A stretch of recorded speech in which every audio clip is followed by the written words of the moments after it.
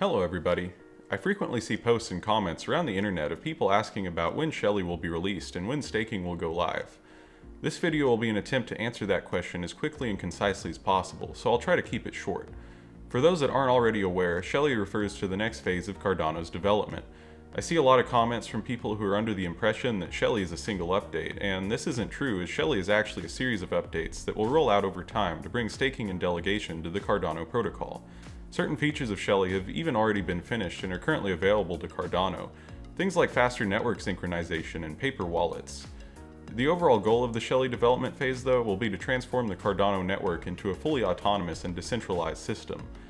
As of recording this video, Cardano is currently in the final stages of the development phase known as Byron, which focuses mainly on the development of the Cardano settlement layer, along with the refinement of other basic features. For the past few months, however, IOHK has been working on getting their code ready and taking the necessary steps for the switch from Byron to Shelley. This switch will take place with multiple steps.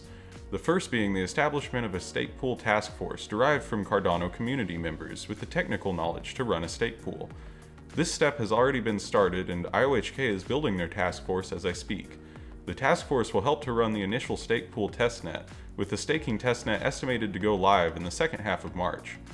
Before that testnet can go live, however, the second step will be introduced, which consists of a Daedalus wallet update. This update will decouple the back end of the wallet, and once this decoupling is done, the network will switch over to the Ouroboros BFT consensus protocol. This is perhaps the most critical step for switching the network over to Shelley, and is currently expected to happen in mid-March. The third step will be the actual movement from the nodes that currently run the settlement layer over to the registered staking pools ran by the community. Starting from the second epoch of the Shelley switch, a certain percentage of slots will be given to registered pools.